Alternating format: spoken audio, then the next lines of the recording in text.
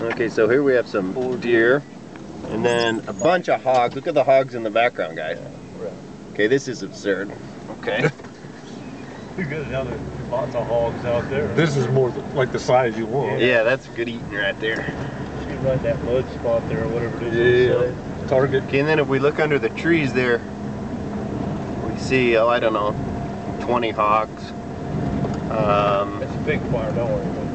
about it. uh, Billy's tending the hog farm good. Haven't been hunting them.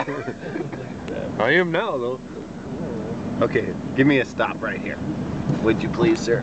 Look at that big one on the right. Another boar. That is another boar in it. Yeah. Dick hanging down. Gee, I'm gonna switch to a photo. I know I'm don't want to annoy you too bad, but this is fun.